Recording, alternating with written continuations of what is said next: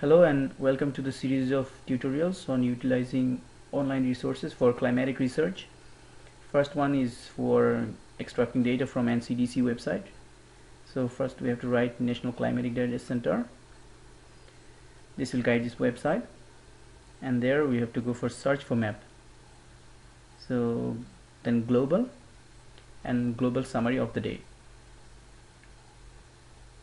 So the website looks like this first we have to uncheck the default one and we have to check the uh, day, summary of the day. So these dot points are the available data for the entire world. This is provided by WMO with uh, NCDC joint program. So now we select some area where I have uh, this is my study area for my PhD research. So there are various way you can extract data.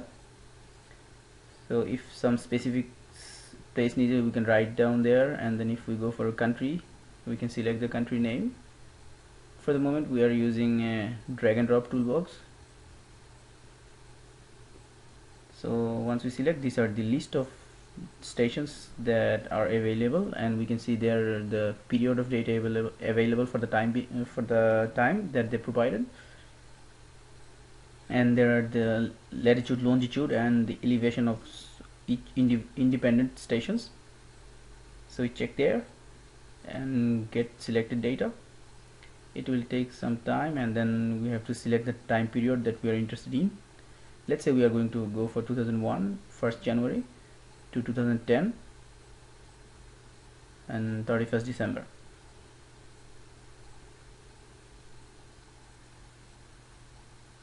Now continue. It takes some time based on the amount of data that we asked for.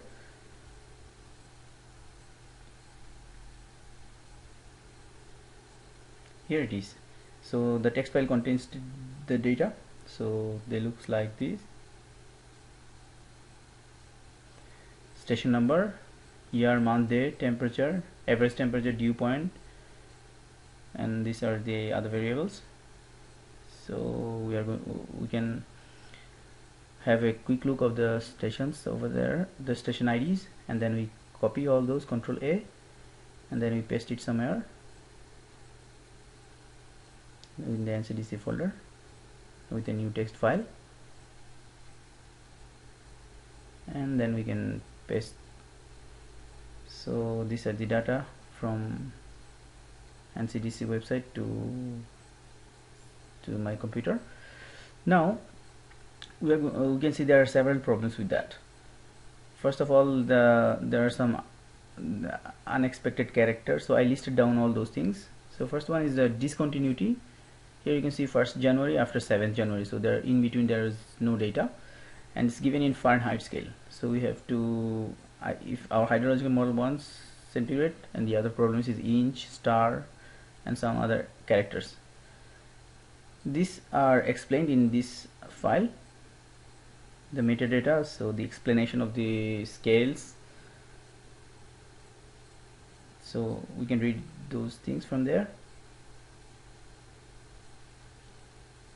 Now we are going to filter those data through any software like R or MATLAB because we if we want to have all those points independently as independent precipitations and temperature so you have to write some script let's say these are the all the stations are look uh, with this file. So we are going to have independent station. For that we open R and we set up the directory on the NCDC here we our data is located. So uh, we have written some script. So if we run those script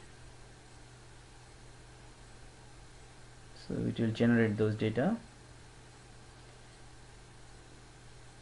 so now let's run and see.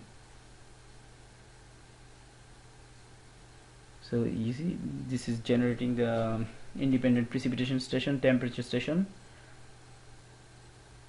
So we can see one. This is SWAT formatted. I'm using a hydrological model that wants this format. For any kind of question of course you can send me an email. This is very important source for data sparse region